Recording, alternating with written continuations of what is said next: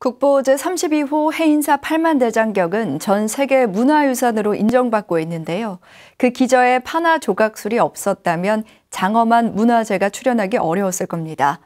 이런 부분에 주목해 한국 전통문화 교육에 힘쓰고 있는 곳이 있습니다. 바로 청계산인데요. 정준호 기자가 다녀왔습니다.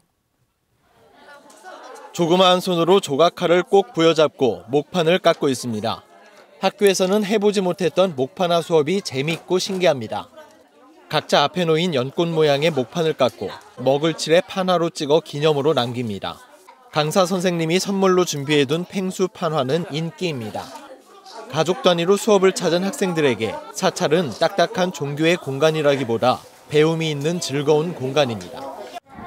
저는 이거 해보니까 예전에 지도 만들고 뭐 이런 목판 찍어내는 사람들이 손에 피멍이 들었을 것 같기도 했어요. 한 조각을 해보니까 옛날에 글자를 만들었던 사람들이 그 손가락이 엄청 아팠다, 아팠다는 걸 알게 됐어요.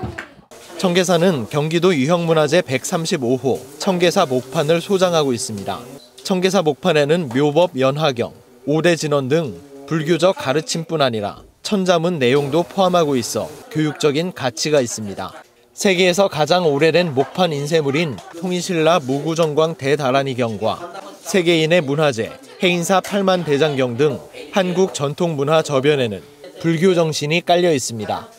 목판 수업 강사로 나선 정찬민 각자장 이수자는 전통 문화와 불교 문화가 하나라는 점에서 이런 수업이 우리 전통 문화를 계승하는 동시에 불교 포교가 된다고 설명했습니다.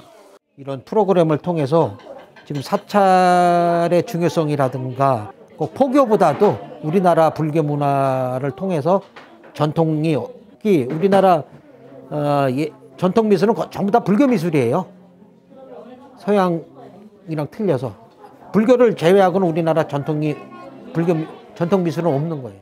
신중도와 목판 등 소장하고 있는 문화유산을 바탕으로 불교 미술 교육과 판화 수업을 열고 문화 해설사까지 양성하고 있는 청계사. 최근 사찰림 활용 방안에 대한 연구도 진행하는 등 각 사찰이 가지고 있는 자원들을 바탕으로 의미 있는 시도가 점차 증가하고 있습니다. BTN 뉴스 정준호입니다.